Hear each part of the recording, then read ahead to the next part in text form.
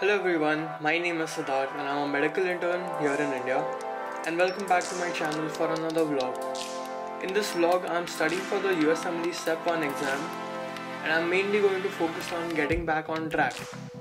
After I took a mini break to relax a little bit and avoid burnout. So currently I'm just working on making a plan for my next week of study and uh, I just took a break of two days so that I can rest a little bit and come back stronger and be more productive. The way I'm planning my study is by looking at all the systems that are yet to be done and making a numbered list from the systems I don't know much about to the ones that I have some knowledge about. I start by looking at where I left off my study and which subtopics are yet to be finished. During this mini break, I continue to solve my UWorld questions and Anki flashcards every day, so it wasn't really a true break. I'm going to save my true break for after the USMLE Step 1 exam, maybe.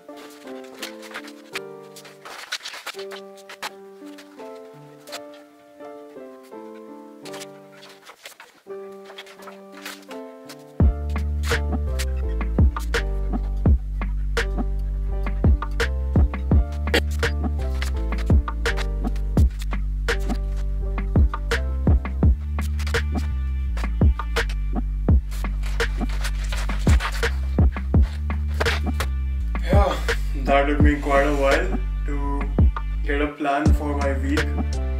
And yeah, I think I have a plan for the next week and I'm going to do my best to follow it. And yeah, that's it.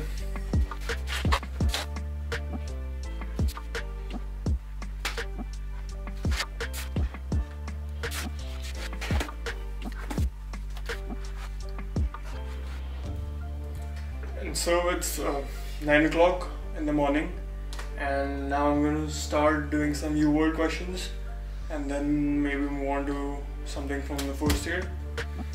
And yeah, that's it. And now I start solving my UWorld questions for the day. In my current phase of study, I'm solving around 20 questions every day and reviewing them. I solve them in all random mode and in tutor mode so that I can review the questions and topic right then and there. Also, my first aid for the USMLE Step 1 is open so that I can write the important takeaway points from the questions. I also use the notebook feature on UWorld, but more about UWorld in a later video.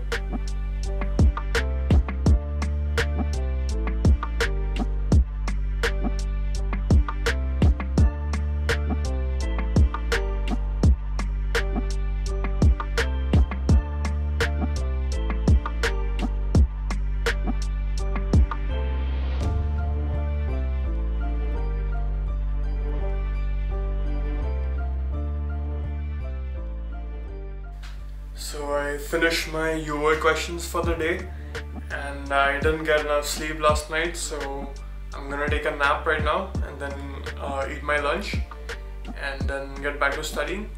So I will see you guys then. And also I asked you guys a question on Instagram from UWorld and some of you have got it right and some of you don't know what it is so I'm just gonna post the answer later on and uh, you can go ahead and follow me on Instagram to see those word questions.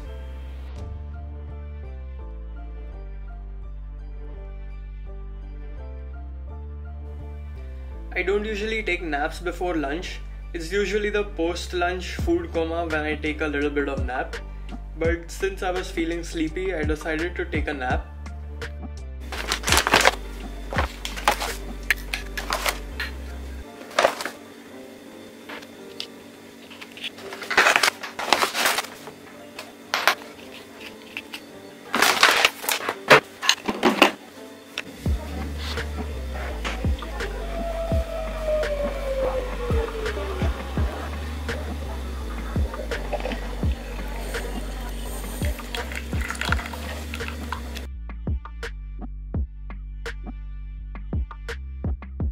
after lunch is when I'm having my cup of coffee and getting back to studying for the day.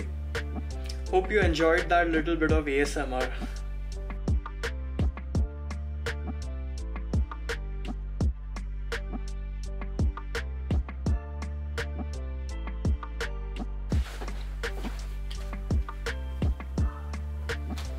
Okay, and we're back, and now I'm going to focus on the CNS section from Pathoma, and uh, yeah, just to complement the things that I studied from the first aid and boards and beyond, and yeah, that's it.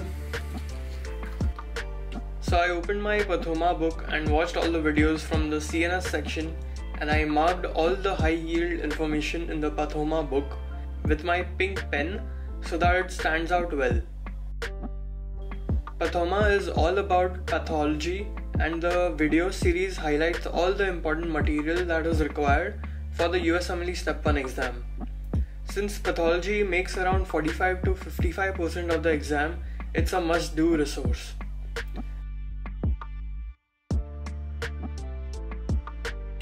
I started studying with all the developmental anomalies like anencephaly, spina bifida, Arnold-Chiari malformation, Dandy-Walker malformation, etc. It reminded me of the time I had spent on a neurosurgery elective at Bombay Hospital when I had watched a correction surgery of the Arnold-Chiari malformation with a posterior fossa decompression. I continued with the spinal cord disorders, the different types of meningitis, all the cerebrovascular diseases like stroke, transient ischemic attack, and then I moved on to traumatic injuries, which comprise of epidural and subdural hematoma and the different types of herniation of the brain.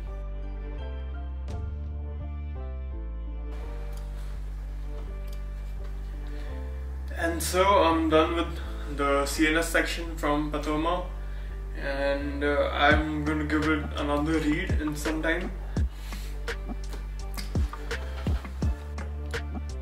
I just give the CNS section of Pathoma a second read so that I can mark all the other important stuff which is beyond the high yield point and also so that I go through the information just once more before I do it in my active recall plan.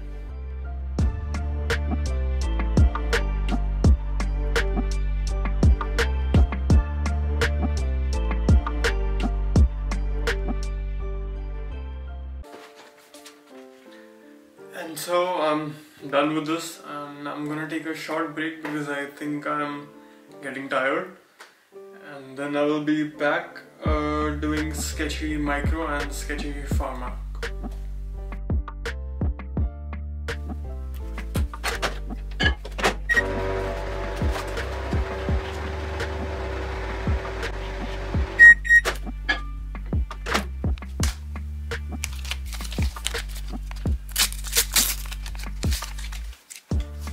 I just sat in my balcony with a green tea and scrolled through Instagram a little bit. And also follow me on Instagram at AcuMedSiddharth to see a little bit more about me.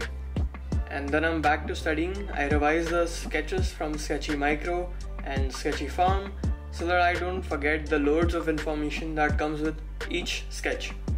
Sketchy Micro and Sketchy Pharm has made remembering all these unique information about each and every microbe and drugs so easy by making a sketch and it acts as a pictorial memory. And that's it for today. Uh, I'm gonna close all my books and I'm gonna do some exercises and have dinner. And that's it for this one. I hope you guys enjoyed it. And if you did, go ahead and hit the subscribe button. And I'll see you guys in the next one.